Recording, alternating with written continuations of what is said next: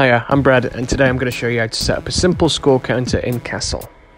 So here's what I've already got in this card. There's a cloud actor, and when that's tapped, it creates five little pieces of cloud, plays a sound, and then it's destroyed.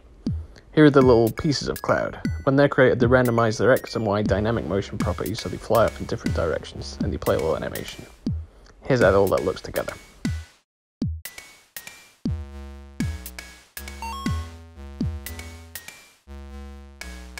The first thing we need to do is set up our score variable. So we're going to tap the cog, tap add new variable, and then rename that variable as score.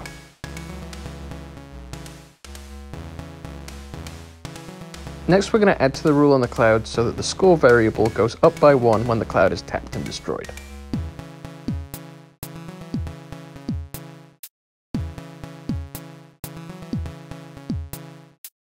We're going to modify the value of a variable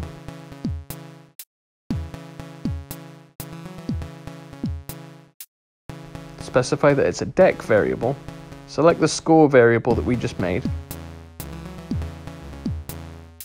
set the value to 1 and then check the relative to current value box. That means that the score variable will be set to 1 more than its current value.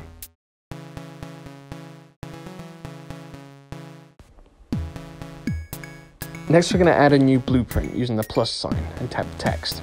We're going to rename that to score to keep things organized and we're going to change the content to 000.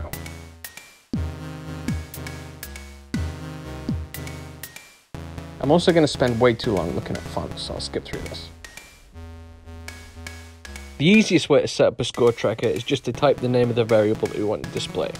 We're going to include that dollar sign at the beginning to indicate that it's a variable, and you'll see that even in the editor, this displays the current value of that variable. But I'm also going to show you how to achieve the same result using rules, we're going to head to the logic tab and add a rule. The trigger is going to be when a variable changes, specifically that score variable that we just set up.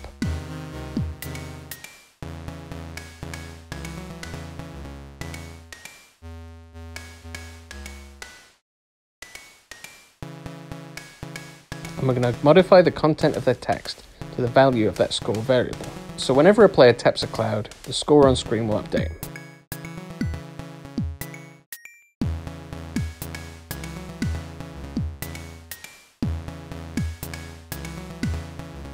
And just to make sure, we're going to make another rule that's triggered when the object is created, so that's when the card is loaded.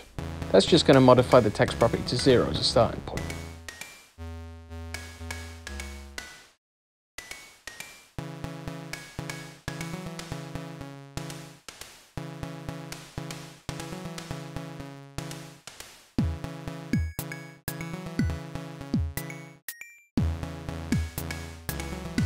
So we're going to place the actor on screen, resize it a little bit, and then hit the play button to give it a go.